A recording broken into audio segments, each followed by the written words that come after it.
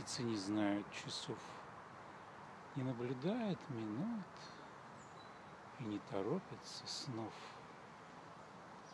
От бездыханности ждут. Кто она, птица ничья, имя ее никого. Вот и отсюда ничья. Между тобой и его, между творением и злом, между прозрением свыше и бездыханным числом.